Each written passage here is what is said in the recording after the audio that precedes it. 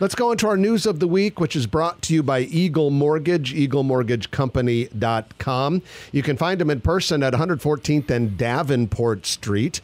And the reason you want to find them is to get a loan for your piece of the American dream. It's summer, as you know. A lot of people are out there busily looking for new houses. Uh, they're thinking about moving. Maybe they're not 100% committed to moving, but they're thinking about moving.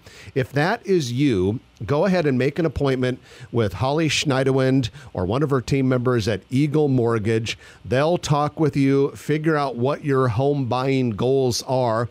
They shop the market. They're not a bank. They work with banks. They broker banks and borrowers. And so they can shop from a variety of different banks, find the best lending option for you match you up. Doesn't matter whether you're going conventional, FHA, VA, some of the specialty loans, they do all of that and they'll take great care of you. You can find them at eaglemortgagecompany.com. Well, Trenton, looking at the news, uh, the University of Nebraska Medical Center continues to make progress on the development of their Saddle Creek campus. This is the the new campus that is west of Saddle Creek Road.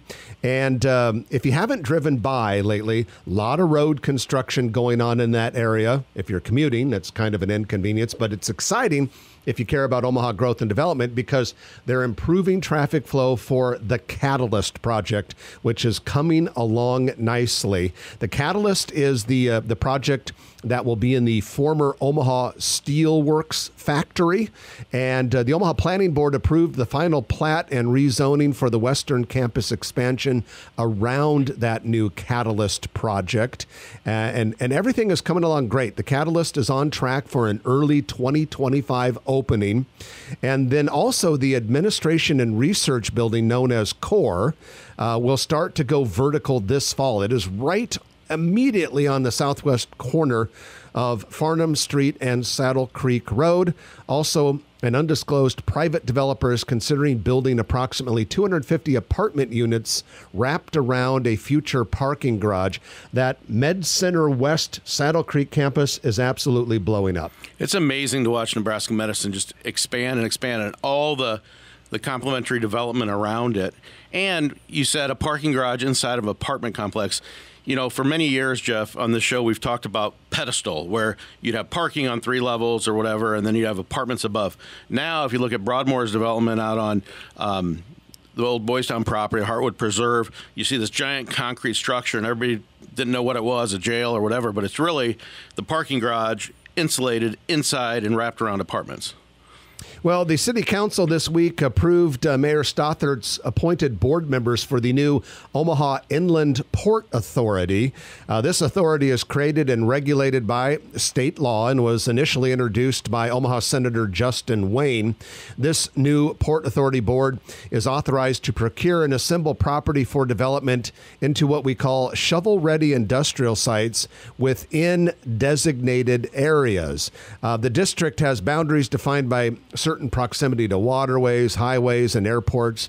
Uh, the Omaha Inland Port Authority is located in North Omaha, appropriately just west of uh, Eppley Airfield uh, just kind of on the north side of Carter Lake. Good place for it. Exciting uh, project. It's not without controversy, but an exciting project because it should bring a heck of a lot of industrial and maybe other types of development to North Omaha. I was glad to see our friend and, and collaborator Mike Riedman, a chairman or a president emeritus of. Uh, NP Dodge residential sales. He is one of the appointed board members with lots of experience. Yeah, and you know, the, the, we, we had, um, excuse me, we had Omaha, uh, Greater Omaha Chamber Executive Heath Mello on the show last week, and he was talking about how challenging it is to get nice sized, large industrial land to develop new industrial buildings inside the city of Omaha.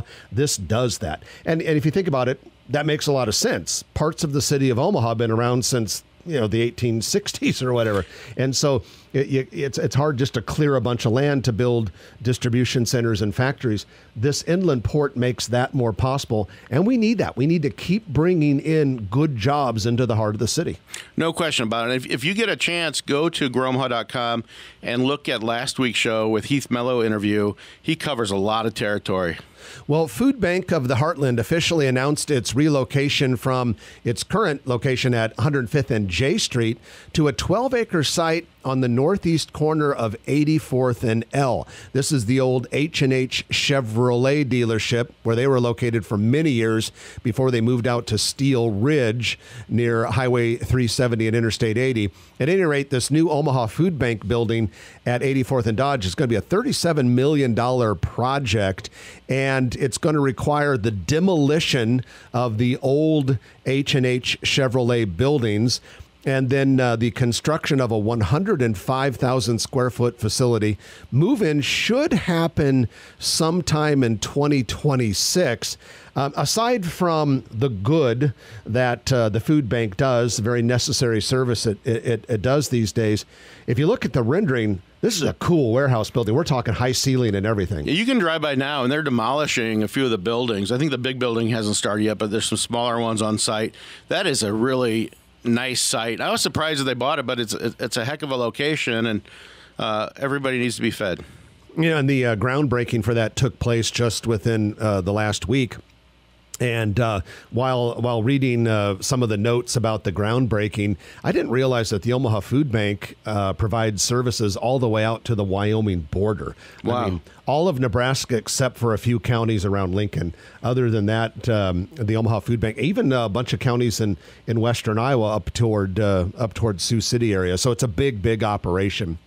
Well, the City of Omaha and the Omaha Performing Arts Society are jointly applying for state assistance through turnback taxes under that Sports Arena Facility Financing Assistance Act. So you think, hmm, Omaha Performing Arts Sports Arena? Well, hear me out.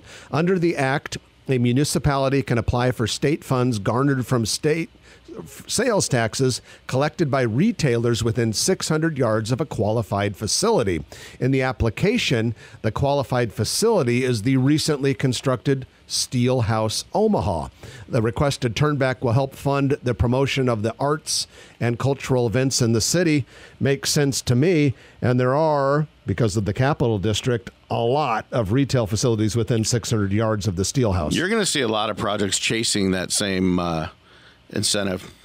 Uh, it will be it, it will indeed be interesting to see and that ladies and gentlemen is your news of the week the grow omaha development news of the week that is brought to you by eagle mortgage eaglemortgagecompany.com if you like this video, be sure to hit those like and subscribe buttons. And remember, Grow Omaha is not just media. This is a mission. We are trying to build up Omaha and make it an even better place. We can only do that with your help. Share this video with your friends, neighbors, and family.